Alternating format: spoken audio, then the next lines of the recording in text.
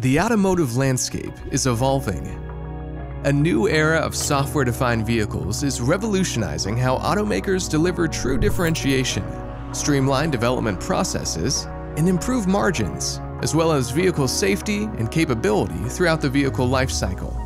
The road to tapping into the benefits of software defined vehicles, or SDVs, is bumpy for automakers who maintain their hardware centric approach and proprietary software while newcomer disruptors are challenging the status quo by delivering continuous innovation with their software first approach, incumbent automakers need to reimagine their organization, their processes, and embrace modern cloud native technologies to navigate the SDV transition efficiently.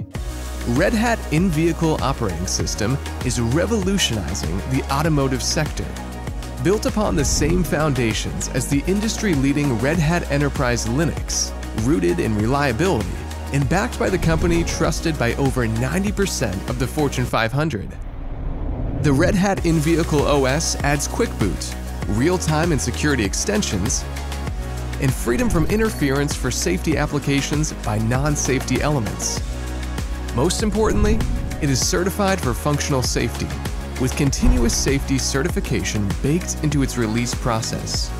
Coupled with Red Hat's broad portfolio of hybrid cloud products, this modern, cloud-native combination enables the establishment of an efficient software factory, one that streamlines the process from virtual platform to the lab to the vehicle, anywhere along the entire vehicle lifecycle. The result is reduced costs and greater efficiency, as well as continuous improvements in capability, quality, and customer loyalty. Crucially, embracing open source fosters shared development and standardization in automotive communities and connects automakers with an expert ecosystem needed to help build the modern software factory and outpace the competition. For tomorrow's software-defined vehicles, the open road runs on open source.